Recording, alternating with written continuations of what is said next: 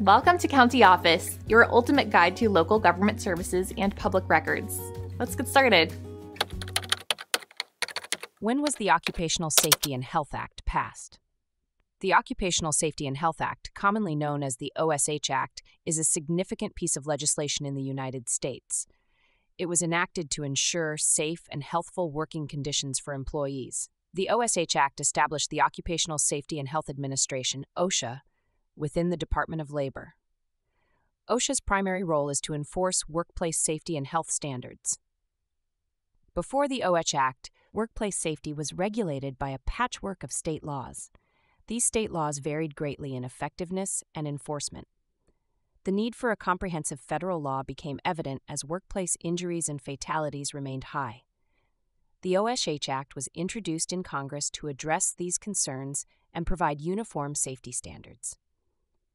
The OSH Act was passed by Congress after significant debate and consideration.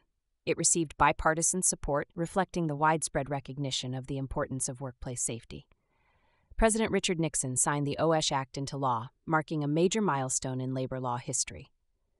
The OSH Act also established the National Institute for Occupational Safety and Health, NIOSH. NIOSH conducts research and provides recommendations to prevent work related injuries and illnesses. Together, OSHA and NIOSH work to improve workplace safety and health across the nation. The OSH Act has had a profound impact on workplace safety since its passage. It has led to the development of numerous regulations and standards designed to protect workers. Employers are required to comply with these standards to ensure a safe working environment.